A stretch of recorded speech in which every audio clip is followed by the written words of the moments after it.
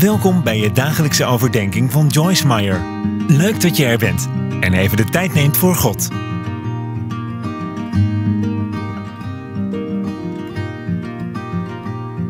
Jouw overdenking voor 10 november.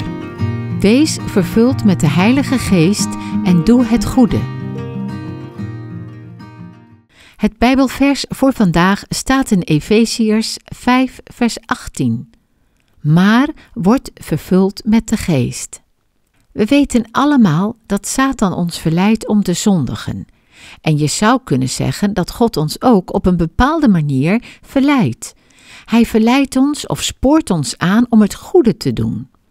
En wanneer hij dat doet, valt Satan vaak ons verstand aan en wil ons redenen geven waarom we het niet moeten doen.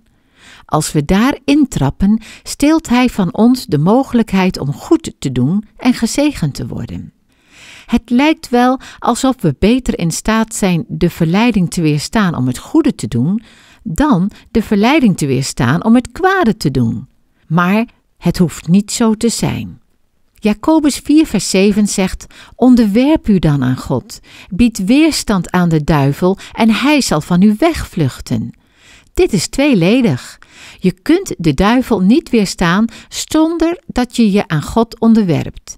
En je kunt je niet onderwerpen aan God zonder de duivel te weerstaan.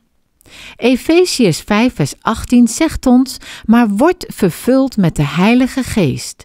Als je vervuld bent met de Geest, dan ben je aan God onderworpen en kun je de duivel weerstaan en de strijd winnen. Ik wil je uitnodigen om het volgende gebed met mij mee te bidden. Heere God, vervul mij met uw Heilige Geest.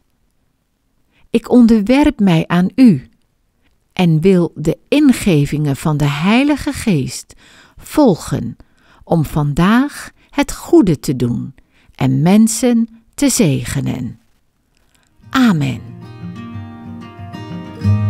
Bedankt voor het luisteren. Ben je er morgen weer bij?